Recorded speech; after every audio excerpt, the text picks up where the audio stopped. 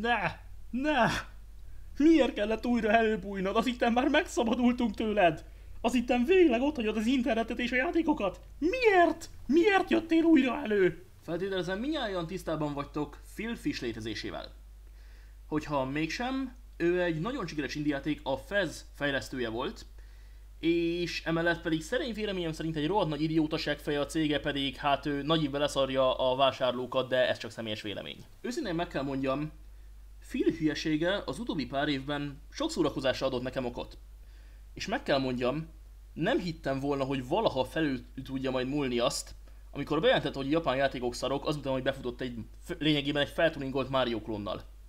De most sikerült neki. Eddig úgy tűnt, hogy Phil már jó ideje visszavonult a játékipartól és az internettől. Viszont most visszatért, hogy megossza velünk bölcsességét. És mit mondott? A leírásban rakok egy linket a GameSpot cikkhez a dologról, ugyanis hát meg kell mondjam, nem vagyok egy remek angol fordító, de itt van a saját fordításom. A youtube a hirdetésekből származó bevételük nagy részét ki kellene fizetniük a fejlesztőknek, akiktől a tartalmat lopják. A bevételt meg kell osztani a fejlesztőkkel. Ezt bele kellene építeni a YouTube-ba. Minden más gyakorlatilag kalózkodást. Ha pénzt szerzel abból, hogy az én tartalmam rakott fel a csatornádra, tartozol nekem. Ilyen egyszerű. Ha megveszed egy filmet, az feljogosít arra, hogy az egészet nyilvánosan terjeszd és az emberek ingyen nézhessék? Nem, mivel ez illegális. Léteznek rendszerek, amik ezt megakadályozzák. De ha megveszed a fest, az egészet feltöltöd YouTube-ra, bekapcsolod a hirdetéskel és ebből pénzt keresel, az teljesen rendben van. A fejlesztő pedig semmit sem kap abból, hogy a munkájukat ingyen terjesztik a világban. Persze. Ó, baszki! Ezután csak azt remélem, hogy ő fülöpsége nem fogja követelni a pénzemet, mert lemertem fordítani dicsőséges szavait. Oké, okay. nővér, hozza a fűrészt és a szikét. Felboncoljuk ezt a kijelentést. Először is. Nagyon tetszik, hogy Firit úgy állítja be a dolgokat, hogy minden létező fejlesztő mellette áll. Igen, a kijelentés második felében már magáról beszél, viszont először általánosságban a játékfejlesztőkről. És tudjátok, van néhány ö, amolyan kisebb játék, amelyeknek a fejlesztői ö, kimondottan jól jártak azzal, hogy liberálisan foglalkoztak YouTube-bal, és engedték, hogy az emberek pénzt keressenek a videóikról. Nem is tudom, csak néhányat mondanék Call of Duty, League of Legends, kibaszott Minecraft. Jól van, ez biztos csak egy szar megfogalmazás volt fél részéről, biztos csak magáról beszél. Menjünk tovább. Szóval minden videó tartalomból, ami, ami tartalmaz az ő játékát, pénzt kéne kapnia. Oké, okay. ez azt hiszem még egy szar megfogalmazás lesz. Phil, tisztában vagy vele, hogy hogy működik a szabad piacon nem is tudom mondjuk a kritika írás? Te most komolyan azt várod, hogy akárki, aki csinál egy kritikát a játékodról, pénzt küldjön neked? Persze, végül is nem is látom a problémát abban, hogy a nagy cégek megtehetik azt, hogy elveszik azonnak az embereknek a pénzét, akik lehúzó kritikákat írtak a játékaikról. Teljesen logikus. Szabad piac meg a picsába. Oké, okay, oké. Okay. Mondjuk, hogy ezt így csak hülyén fogalmazta meg. Menjünk tovább. A filmes hasonlat. Nos, film. Nem akarom ledönteni a te kis világodat de a videójátékok nem filmek. És sosem hittem volna, hogy ezt egy játékfejlesztő nem érti meg, de egy videójátékban a játék élménye nem abból jön, hogy végignézed, hanem a játék élményből. Abból, hogy te játszol vele. Hogyha csináltál egy olyan játékot, amit teljesen át lehet élni, azzal, hogy megnézed, egyrészt szar, másrészt meg nem játék. Jelenleg én személyesen egyetlen egy ilyen játékról tudok, játék idézőjelben, a Dear Esther. Ez abból áll, hogy kb. 20 percig nyomod a W-t, sétálsz előre, és hallgatsz egy narrátort. Az egyszerű játékelménytől legtávolabb álló videójátékok, a David Cage stílusú interaktív filmek, mint a Heavy Rain, a Fahrenheit, ezek is teljesen mások akkor, hogyha te irányítod őket. Teljesen más az élmény. Amit nem ad vissza az, hogyha megnézed. Szóval az elég egyértelmű, hogy ez a filmes hasonlat nem igazán működik. Jó, hogyha hasonlatot akarunk, keresünk egy hasonlatot, ami működik. Szerintem a legközelebb ehhez a sportokkal juthatunk. Gondoljatok bele, teljesen hasonló a helyzet. Sportok ugyanúgy meghatározott eszközökkel, egy ember által lefektetett szabályok alapján működnek. Ennek ellenére, hogyha feltöltenék a Youtube-ra egy videót arról, hogy én és Rakkon sakkozunk, szerintem nem kéne a sakk feltalálójának vagy az ő jogutódjának pénzt fizetnünk. Oké, okay, tovább arról, hogy az ő tartalmát gyakorlatilag lopjuk, és hogy az ő tartalmát töltjük fel a csatornáinkra. Nem akarlak kiábrándítani téged, de amikor az emberek fölmennek egy YouTube csatornára, és arra fel vannak iratkozva, akkor a tartalom, amit meg akarnak nézni, az nem a te játékod, hanem az azon lévő kommentár.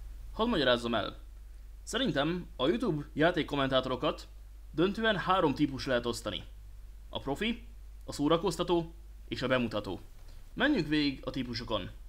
Az első, a profi. Ők az úgynevezett pro gamerök. Ők azok, akik a népszerűségüket és a bevételüket abból szerzik, hogy baromi jók egy játékban. Ők igazából a videójáték világ profi sportolói. Amikor megnézek egy Starcraft meccset Stefanoval, akkor nem a Starcraftot akarom nézni, hanem azt, hogy Stefano játszik Starcraftot. Hogyha nem lennének ott a profik, az emberek nem néznék a játékot. Második, a szórakoztatók. Ők igazából azok, akiknek a játék pusztán egy témát vagy egy hátteret nyújt a videóikhoz. Persze, van olyan, aki egy kicsit jobban elmerül a játékban, viszont ennek ennyire a játék továbbra is csak egy alap a poénokhoz. Ide tartoznak az átlagos YouTube let's playerök és a masinima készítők. Ez a kategória eléggé széles, viszont minden tagjában közös az, hogy őket a humorukért vagy az aligitásukért nézik. Legyen szó egy egyszerű, a játékban elmerülő let's playerről, egy tapasztalt videóvágóról, aki valóságos drámát mutat be World of Warcraft karakterek segítségével, vagy PewDiePie-ról, aki minden videóját azzal tölti, hogy az aranyszobrok és a disznó közti szexuális aktusokat részletezi. Ők azok, akiknek a videójáték egy puszta eszköz a humorokhoz. Mindegy, hogy mivel játszanak, az emberek nézik őket, mert nem a játék miatt vannak ott. És a harmadik, a bemutatók. Ide általában a játékkritikusok tartoznak, viszont én azokat is ide sorolnám, akik hát ö, bemutatókat csinálnak játékok különböző aspektusairól. Teszem azt azokat, akik minden héten videókat raknak föl az éppen aktuális megjelenő Skyrim modokról. Ők azok, akik az, emberek igazából információért fordulnak a játékokról. Az ő csatornájukat keresik föl akkor, hogyha meg akarnak venni egy játékot, hogyha ki akarják deríteni, hogy ez a gomb most pontosan mit is csinál, hogyha ki akarják deríteni, hogy ez a patch és ez a mod pontosan most mit hozott be a játékba és mit vett ki belőle. És ők azok, akik leginkább tudják befolyásolni egy játék eladásait. De nem azért, amit fél mond, hogy ellopják a tartalmat a játékból, hanem azért, mert informálják az embereket. Freddy D videói után nem azért esik le a City interaktív játékok eladása, mert az emberek úgy érzik, hogy megtapasztalták a játékot a videók alapján, hanem azért, mert már tudják, hogy szarok. És igen, ez ennek a videónak az eltüntetésével feljebb lehet vinni bizonyos játékok eladását. De nem azért, mert kevesebb tartalom kering róla az interneten, hanem azért, mert ez a homályban tartja és megtéveszti a vásárlókat.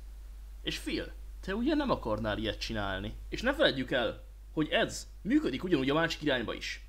Hogy egy kicsi, aránylag ismeretlen indie játékról egy nagy kritikus ír egy pozitív kritikát, akkor ez a játéknak baromi nagy hírnevet és reflektorfényt ad. És baromi sok fejlesztő és játékkiadó itt követel egy hatalmas hibát. Ugyanis ezt a hatást nem csak a bemutatók érik el. Egy profi játékos ugyanúgy inspirálja az embereket arra, hogy játszanak a játékkal, hogy egy profi futbalista is inspirálja az embereket, hogy focizzanak. Ezért van az, hogy az olyan játékoknál, mint a League of Legends vagy a Starcraft, gyakran maguk a fejlesztők támogatják vagy szervezik a bajnokságokat. A szórakoztatók pedig hatalmas nézőközönséggel rendelkeznek. És hogyha ennyi ember já- látja a játékodat, lesz köztük több is, aki arról a játékról nem hallott. És köztük lesznek olyanok, akik annak hatására, hogy látták, meg fogják venni. Ez még akár az én csatornámon is megfigyelhető. Tudom, hogy a nézőközönségem eléggé szerény, és nagy részét azért szereztem, mert Magyarországon gyakorlatilag csak én csinálok Grand Strategy végigjátszásokat Youtube-on. Viszont, hogyha akármit feltöltök, garantálom, hogy 100-200 ember rá fog kattintani arra a videóra, és ebből legalább lesz néhány, aki megveszi. És tudjátok, hogy ez mennyit számíthat egy nagyobb YouTube csatorna esetében? Nézzük csak kedvencünket, a világ legnagyobb YouTube csatornáját, PewDiePie-t. Keresünk rá egy népszerű játékra a Youtube-on, Call of Duty Ghosts. Bum! Első videónyi feljön. Kb. 7 hónapja ment föl, és közel 4 millió megtekintése van. Na most kattintsunk át jó barátunk PewDiePie csatornájára. Baking Simulator. Kb. egy hete ment fel a videó, közel 5 millió megtekintés. Mondhattok, amit akartok az emberünk videóiról és a humorérzékéről. De azt nem lehet kétségbe vonni, hogy baromi sok indiátékot húzott ki a szarból. De tudjátok mit? Oké. Okay. Érvelhetek én itt akármennyit, amennyit akarok. Vannak emberek, akiket nem lehet meggyőzni érvekkel. Viszont azért örülnék, hogyha ezek a fejlesztők egy dolgot észben tartanának.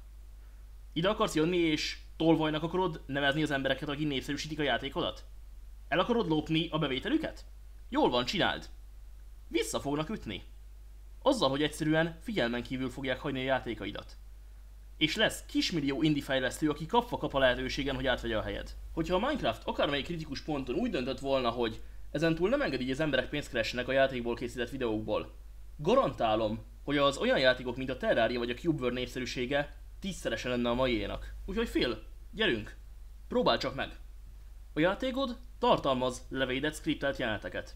Ezeket nyújts be a Youtube-nak, és már is le tudod nyúlni a videóid bevételének egy részét. Aztán add ki ezután a FES 2-t, és nézd meg, hogy mi lesz az eredménye úgy, hogy a kritikusok figyelmen kívül hagynak, vagy akár meg is említik az embereknek, hogy mit művel a céged. Gyerünk, próbáld ki. És tudjátok mit? Kíváncsi vagyok, hogy az ilyen emberek mit szólnának. Hogyha a játék megvásárlásakor a vásárlóval kitöltetnénk egy formulát, hogy miért vette meg a játékot, és minden egyes alkalommal, amikor egy YouTube-ost, vagy magát a YouTube-ot nevezi meg a vásárlás okának, akkor lennénk egy kis százalékot az eladás bevételéből. Mert végül is ki ez a Phil Fish, hogy a mi nézőközönségünkből és a mi videóinkból akar pénzt keresni. Ez volt én már a Matobarna, és találkozunk a legközelebb. Addig is a viszont látásra.